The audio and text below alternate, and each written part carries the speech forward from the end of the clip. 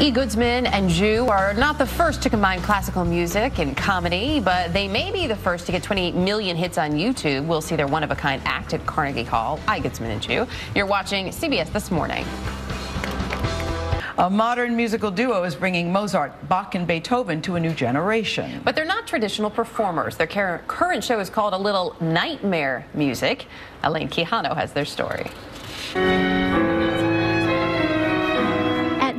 York's legendary Carnegie Hall, a venue with a rich tradition of hosting classical performances, two virtuosos put on a show that can only be described as non traditional.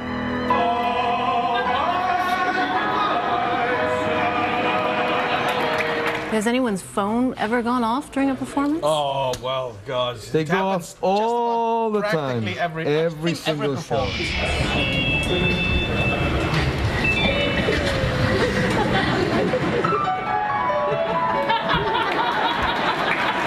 Violinist Alexei Igudesman and his childhood friend, pianist Hyung-ki Joo, are two classically trained musicians who mix classical and contemporary.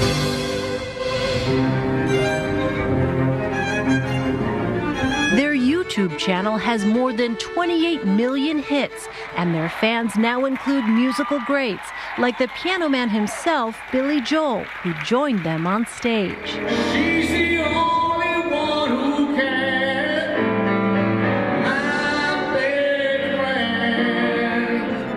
Igudesman and Joo both fell in love with classical music as kids, and as adults, their show is aimed at making others fall in love with it too.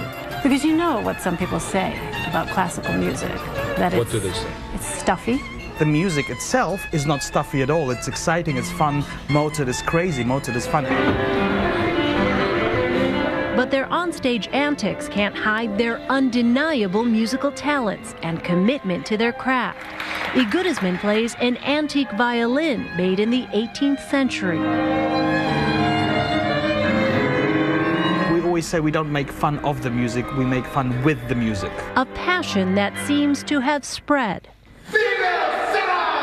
For CBS This Morning, Elaine Quijano, New York.